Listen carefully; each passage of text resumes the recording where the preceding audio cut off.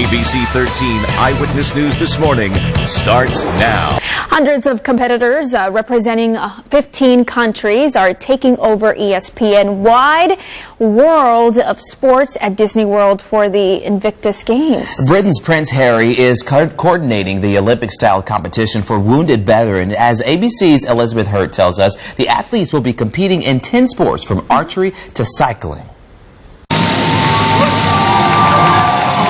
Prince Harry at Disney World with war heroes from around the world going for gold. The main feeling that I'm getting is, is just real excitement.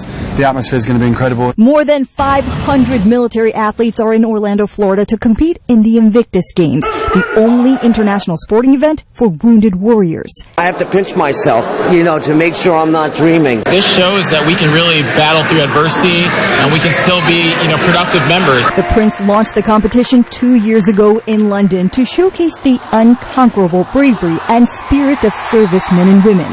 The U.S. playing host this year.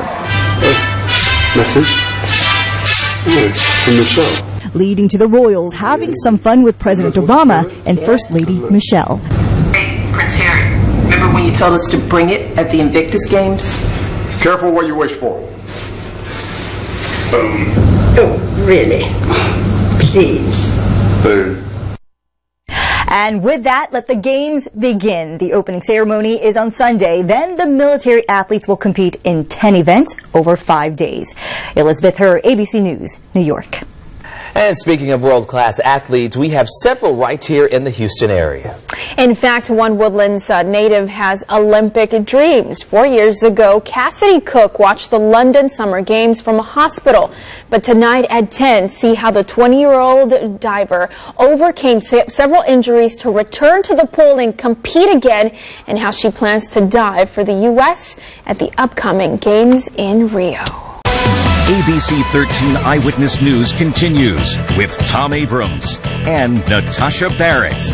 Well, tonight we have an incredible story of really just never giving up. Four years ago, Kassidy Cook watched the Summer Olympic Games from her hospital bed. And now, after overcoming multiple injuries, the Woodlands native is just an event away from making the U.S. Olympic diving team and heading to Rio. It started early. You could tell this four-year-old from the Woodlands was something special. As soon as I was old enough to start jumping off the boards, I did, and the rest is history. Kassidy Cook is a hometown name to watch for the Summer Olympics. She was a member of the U.S. national diving team in 2012, but Kassidy missed out on competing in the Olympics by just 0.4 points four years ago. Did you think, okay, I'm done? Um, no, I never try to think like that. Uh, there's points where I got scared that I would never be as good as I was. A shoulder injury sidelined Kassidy, dampening her dreams at the London Olympics. She's dealt with a knee injury, a stress injury to her back. She can go all day. Now she's healed and set to shine at the Olympic diving trials in June. So I don't really feel like there's so much pressure on me. I just kind of go out there and have fun because that's when I compete my best.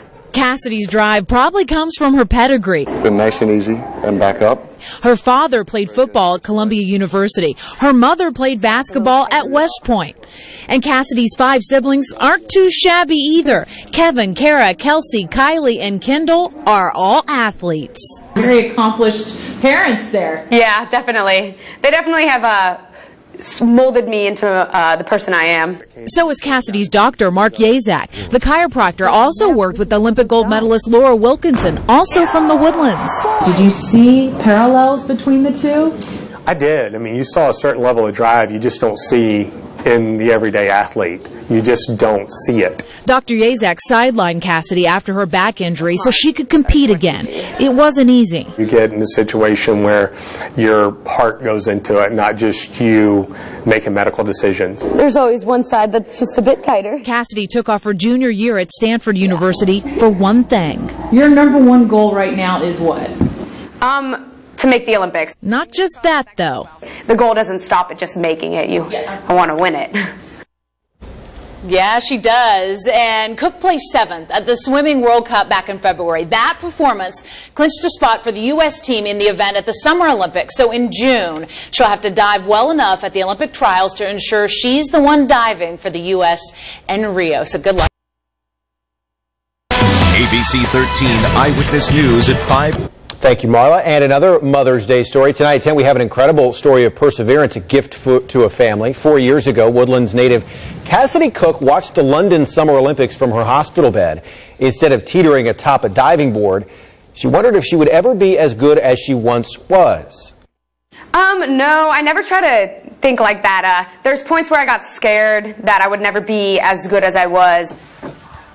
Four years later, the 20 year old is just one event away from making the United States Olympic diving team headed to Rio. You'll hear how she overcame multiple injuries to compete again and how she is determined to not just make it to the games, but win gold. That story tonight at 10. She was a lot of fun to meet. Yeah, that's your story. You'll be my presenting tonight at 10. Yeah, it was fun to go up there and meet her, and she is squared away. She's going to win. She, Mhm. she's ready. Looking forward to seeing that story.